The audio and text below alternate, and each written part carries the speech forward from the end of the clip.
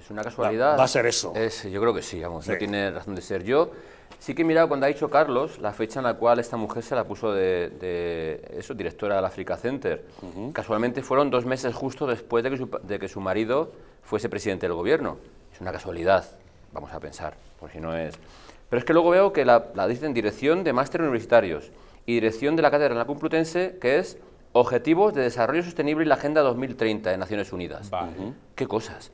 Sin ningún título universitario. Es decir... En algún currículum suyo para determinadas actuaciones había aparecido que es licenciada en marketing y que tiene dos másters, pero nadie ha podido conformar la veracidad de que eso sea cierto. Claro, por eso digo que, que lo dice, da igual. Eh, eh, aquí es, dice que dice, pero cuando comprueban tantísimas las cosas para cualquier persona o para cualquier cargo, para ocupar un puesto, ya sea privado o público, y esta mujer da igual por ser mujer de quién es. Para dirigir una cátedra universitaria se supone que lo mínimo que hay que tener es un título universitario. Titulación, claro, por eso digo, o sea, que es que sería lo mínimo, Javier. Y vemos, sin embargo, que da igual, o sea, que es indiferente. A usted, a, Cristiano o a, o a, Pedro Luis nos pueden pedir, exigir lo que quieran. Y sin embargo, para ese puesto tan limitado, tan, tan, tan delicado y tan exclusivo, ¿no se le pide nada?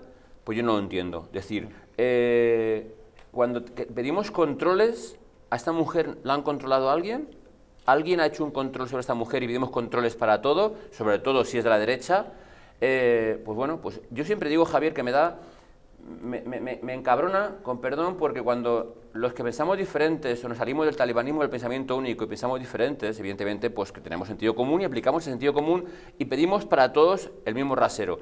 Pero que los suyos no se entienden con estas cosas, es decir, no hay nadie más preparado en el Partido Socialista Obrero Español que esta mujer para ocupar estos puestos, no hay nadie en la Complutense que